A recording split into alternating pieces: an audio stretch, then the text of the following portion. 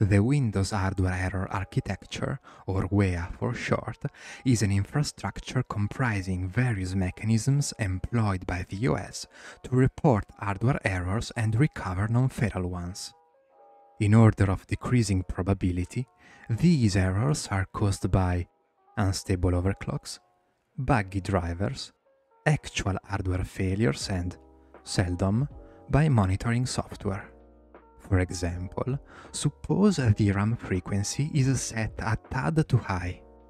This may not lead to a blue screen error, but just to a WHEA one. Should we still conclude that the stability of the system is compromised? In my opinion, absolutely yes. So, how to access that infrastructure?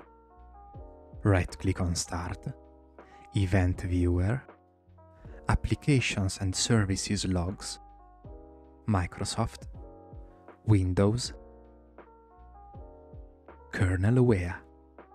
As you can see, I have zero error entries and over 9000 operational entries with event ID 5 and 42. These latter aren't errors indeed, but only information on the initialization of WHEA and its 10 sources at each startup. Next, you should expand the Windows logs. Click on System and filter current log by WHEA logger. However, a faster way to access all WHEA logs exists. Click on Create Custom View, tick each event level, select these two event sources, kernel WHEA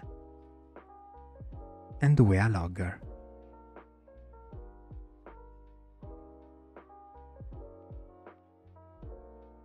OK. Finally, choose a name.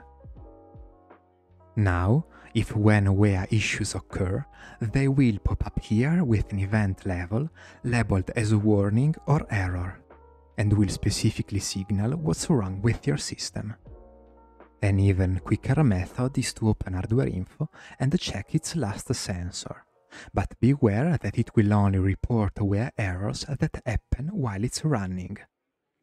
Before closing, I'd like to mention PCIe Advanced Error Reporting, an optional WHEA mechanism that's more robust than the standard one, and so especially useful for troubleshooting PCIe-related problems. If present, the relevant option to be activated can be found in the BIOS. On my Gigabyte B550 Vision D, it's located here. Settings, AMD CBS, and BIOS common options enable AER cap. Many thanks for watching and farewell for now.